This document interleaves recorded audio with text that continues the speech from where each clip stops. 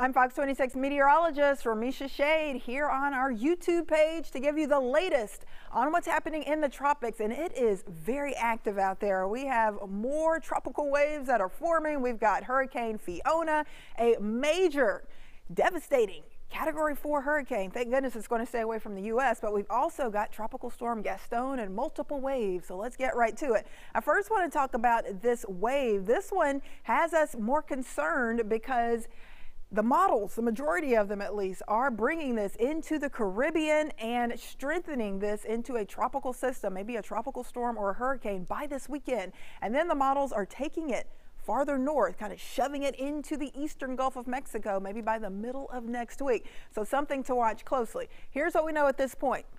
It is just a tropical wave right now, so we don't have that solid area of low pressure developing just yet, but we do have that area of showers and thunderstorms. And notice the red area here. That means there's a high chance for this to develop into a tropical system. So there's about a 70% shot for that happening over the next 48 hours and a 90% chance for that happening over the next five days. So right now, a fairly disorganized band of showers and storms down there in the southern portion of the Atlantic, but it's getting closer to the Windward Islands, and over the next few days, it will likely make its trek into the Caribbean and then it will be over some very warm water and it will likely start to strengthen, likely into tropical storm Hermine. That would be the next on the list. And then it could develop even further into a hurricane and make its way into the Gulf potentially by next week. So we are watching that one closely. Right now, it looks like it would likely be the eastern Gulf of Mexico, potentially making a landfall somewhere near Florida, but it's still several days out, so we've got to watch that one closely.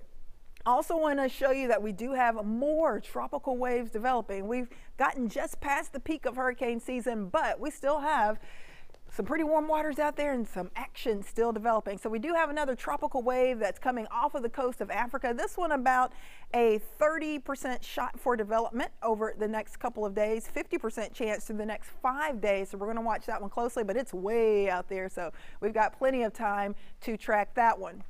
This one out in the central Atlantic, this is another wave, a slightly lower chance for development, a 20 to 30% shot for development in the next two to five days.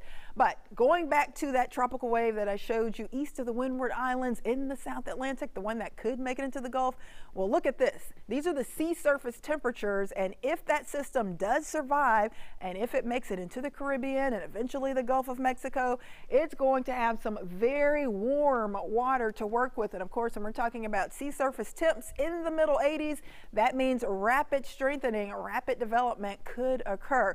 There's going to be a lack of wind shear, so so that is ideal for development for these tropical systems. So we're going to have to monitor it closely. Hopefully it stays away from us, but we don't want it to hit anywhere. But you will be the first to know if that system does develop further. Also want to give you an update on Fiona. This is still a massive and dangerous category four hurricane. It is getting closer to Bermuda. Fortunately, this is going to stay away from the U.S. Thank goodness, because this could do some damage. You can see the well-defined eye wall there, that center of circulation those rain bands kind of circulating around it and it is pushing off to the north and it is going to get fairly close to Bermuda but I think it stays just to the west of Bermuda so good news there. This is the latest as of the 4 p.m. advisory we've got Fiona with maximum sustained winds around 130 miles per hour. So that still makes it a category four major hurricane. And that movement to the north at nine miles per hour pressure right at 937 millibars. So still a very healthy and a very dangerous hurricane. Notice where it's headed by Thursday, 1 p.m., 140 mile per hour winds expected. So it's going to get a little bit stronger most likely as it gets closer to Bermuda. Now, at this point for you in Bermuda, we've got those tropical storm warnings, and we did have a hurricane watch out, so that means there's a chance you could have some hurricane force winds, but there's a likelihood of tropical storm force winds as this system slides just to your west. After that, it's going to keep tracking off to the north, and eventually it will likely make it up towards Canada, Newfoundland, Nova Scotia, with some dangerous, damaging wind possible with this. It will start to lose its tropical characteristics, but there's still going to be the chance for some wind gusts near 100 miles per hour, even when it reaches Newfoundland and Nova Scotia. So Fiona means business. Thank goodness it's staying away from the U.S., but it's something for us to watch as it is still a threat to Bermuda.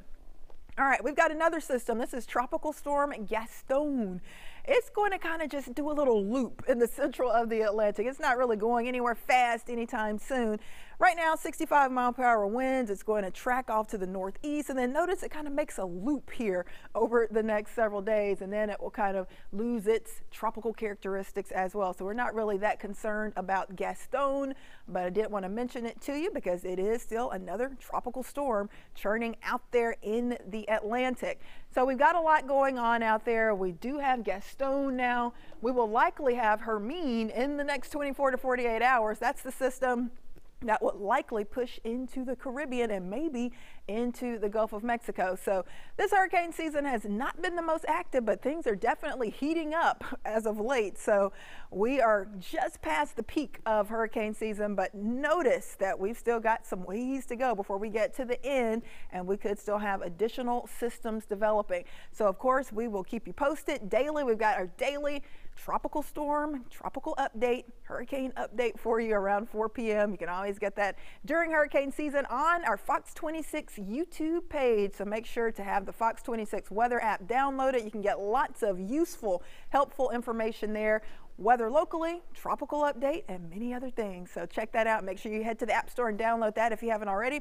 Also, you can find me on Twitter, Facebook, Instagram, at Remeisha Shade TV, Remeisha Shade Weather, and at Remeisha Shade. Have a great day.